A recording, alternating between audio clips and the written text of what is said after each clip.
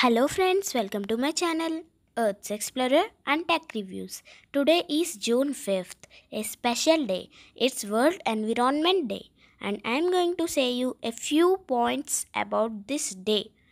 The United Nations is the principal for encouraging awareness and action for the protection of the environment.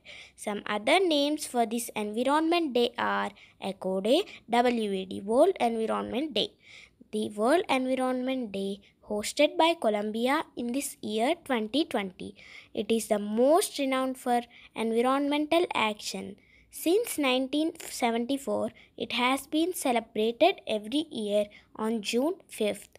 This year, the theme of the World Environment Day is celebrated biodiversity with 1 million species which are facing extinction and pollution is the main thing which is spoiling our earth so we should reduce it by not using plastic bags. If you like this video please like share and subscribe my video and thank you.